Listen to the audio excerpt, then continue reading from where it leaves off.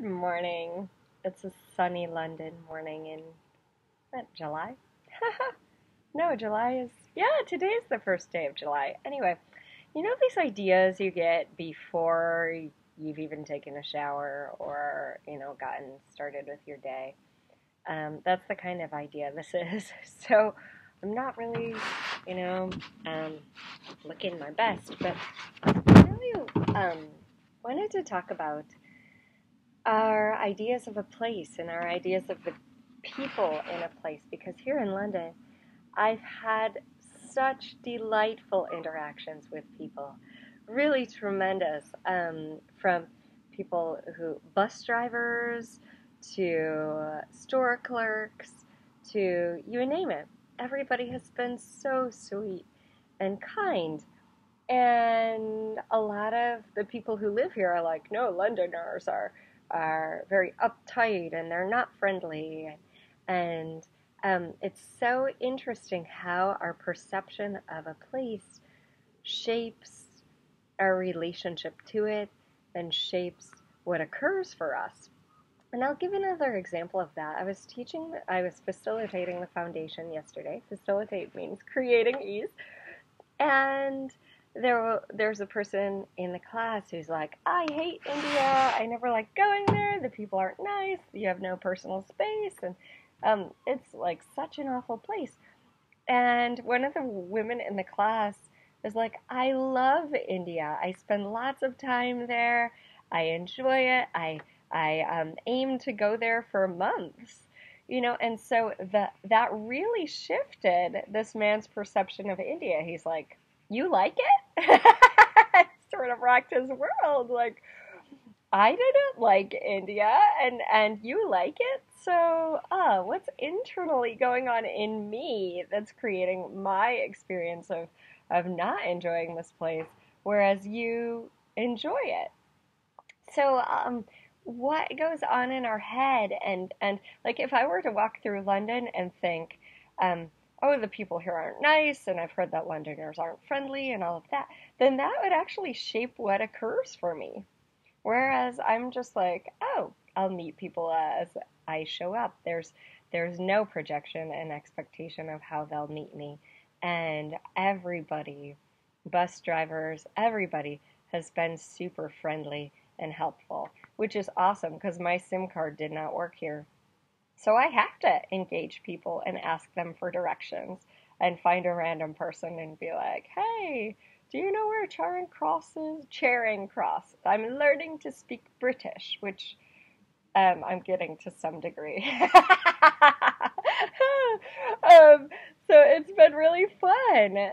So just when you don't, there's a place that you don't like, take a look at like what are my ideas about this place and the people here that are shaping how this place and how the people are showing up for me.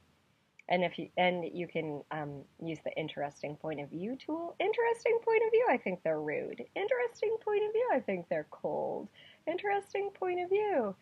And and yes your experience might back up those beliefs and those viewpoints um, but that might just be, would you consider for a moment that that might just be because you had this screen of ideas of how it would be, and that's how it showed up for you?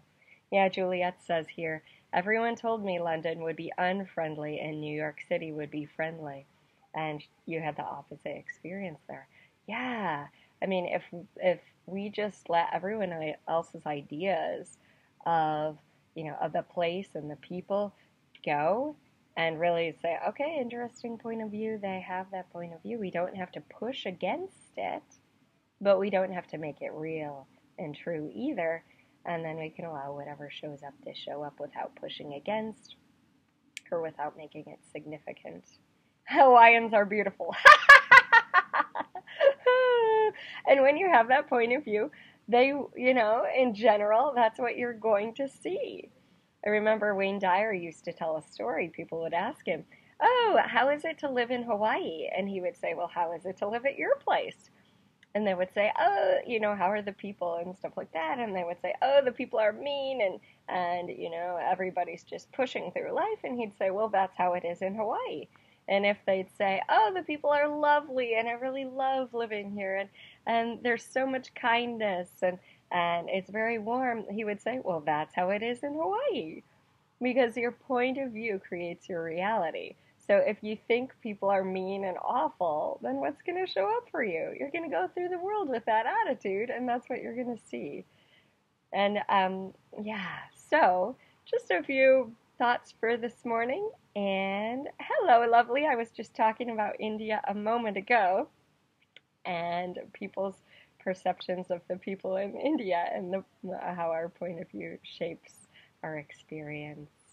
So, yes, come if you'd like to experience Hawaii and the people there, come play with me. I'm having a foundation class in September 2018 and also March 2019. So, plenty of um, places and spaces to play. And Kauai in um, October. Kauai, the island of Kauai is so lush. I'm super excited to engage the energies of that island there. Parts of Maui are lush, and parts of Maui are drier. Um, but Kauai is the oldest of the main islands, and therefore it's got really, um, you know, the lusciousness of the land has kind of um, grown over all the volcanic rock there. Maybe not all of it, but most of it. Um, whereas, you know, each of the other islands, especially the newest one, right, the Big Island is still being formed. Uh, it doesn't have um, plants all over that, that new volcanic rock. It takes time for those to grow and, and poke through that tough rock. So, Anyway, thanks for playing me with me this morning and whatever is showing up for you. If you don't like what it is, take a look at the points of view that are creating that and, and um, having that show up for you. All right, lovelies, have a marvelous day. I'm here from London, and I'll be in Chicago and Wisconsin um, starting next week. So, all right, aloha, everybody.